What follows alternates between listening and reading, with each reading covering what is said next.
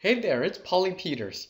In this video, I want to talk about paleo diet recipes and give you one simple recipe to help you with the paleo diet. But before that, I want to share with you my story about who I am so we can get to know each other better. I'm currently diabetes free and at a weight I'm happy with. I've lowered my A1C level to the point I am no longer diabetic and I was able to stop medication. But it wasn't always like that in the past. In fact, I used to really struggle with my diabetes and weight.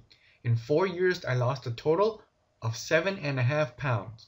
Doing vegan, Weight Watchers, gluten free, you name it, I most likely did it. My diabetes was so bad, my doctor kept telling me that I'd get vision loss, nerve damage, and kidney disease if I didn't change. But then I discovered the paleo diet. I wish I learned about it before I got sick and gained a lot of weight. It wasn't until a colleague at work told me that his neighbor had success with it that I started. I decided to give it a shot as I had nothing to lose. I finally discovered how to control my diabetes, lose the excess weight, and keep it off. After I used the simple recipes in the paleo diet, I was able to go from a depressed, overweight diabetic to a normal, diabetes free, enjoyable life. I'm now able to go to the gym three to four days a week with incredible stamina.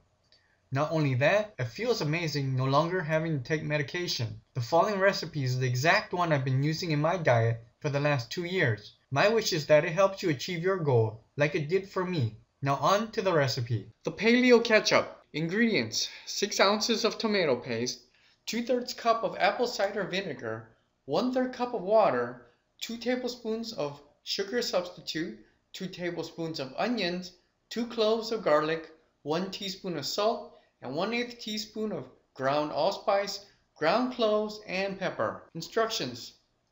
Combine ingredients in a food processor and blend until the onion disappears. Now spoon this mixture into an airtight container and store in the refrigerator. And that's the recipe of the day. If you enjoyed this video, then like the video and subscribe to my channel. If you'd like to learn more about the paleo diet so you can experience improved sugar control and weight loss, then click the link below the video, take action and go check it out. Again, click the link below, take action and go check out the page there.